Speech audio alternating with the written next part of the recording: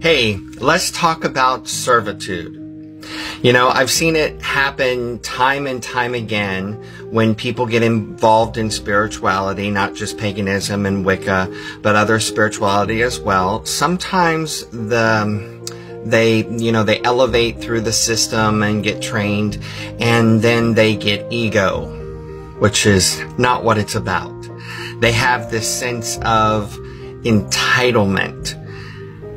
I have always taught my students the higher you go, the lower you bow in service.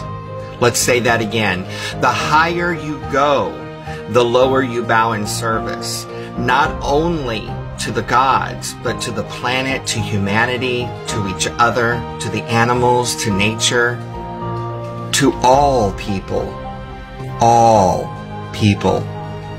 So might it be.